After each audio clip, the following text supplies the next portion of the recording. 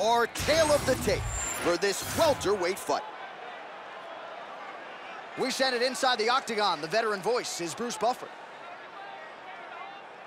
Ladies and gentlemen, this fight is three rounds in the UFC welterweight division.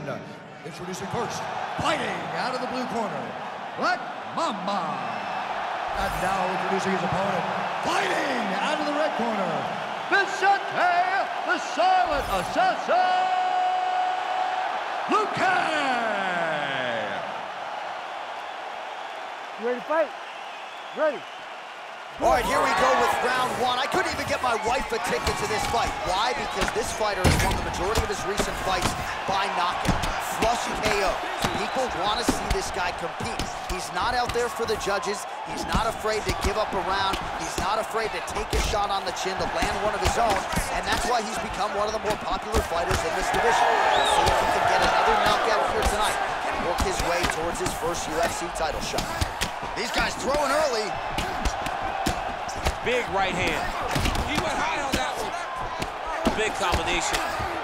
Oh, big left.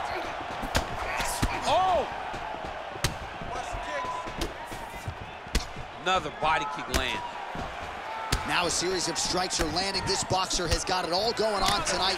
That's his best combination of the fight thus far. Oh, absolutely. When you put that many together at once and they land, you got to be feeling pretty good about the approach that you're taking. Look for him to continue down this path as he tries to get his hand raised tonight. Luque's an absolute mess. Referee might have caught an eye of the ringside position right there. They might stop this fight. While he continues to stay busy and he continues to land with volume punches here. I mean, volume, but he's not wasting anything. He's so accurate out there. Oh, that one landed, yep. Crazy numbers round one.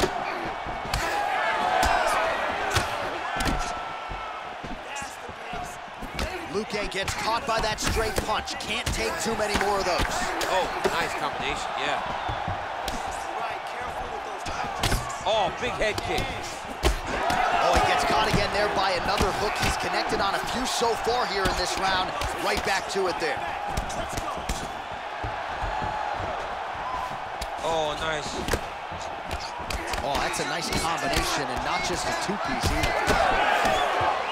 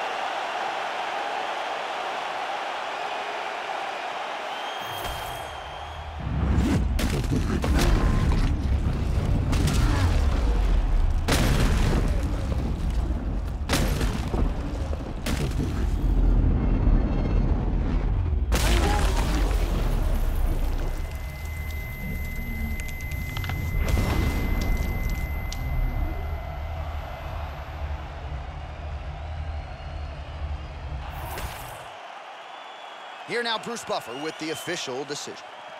Ladies and gentlemen, referee Herb Deans called a stop to this contest at 2 minutes, 26 seconds of the very first round. Declaring the winner by knockout, Black Mamba.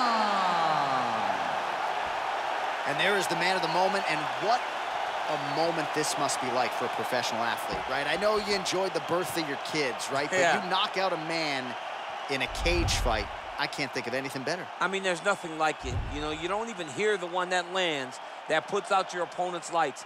And tonight he got that done. And he should be very proud of the work he and his coaches got done tonight.